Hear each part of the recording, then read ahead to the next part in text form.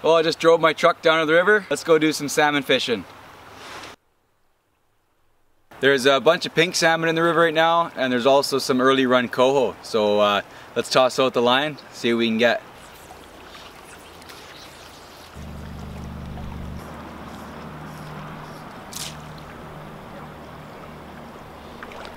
Fish on!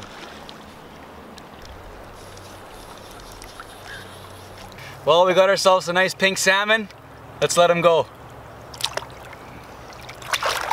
There he goes. That was awesome.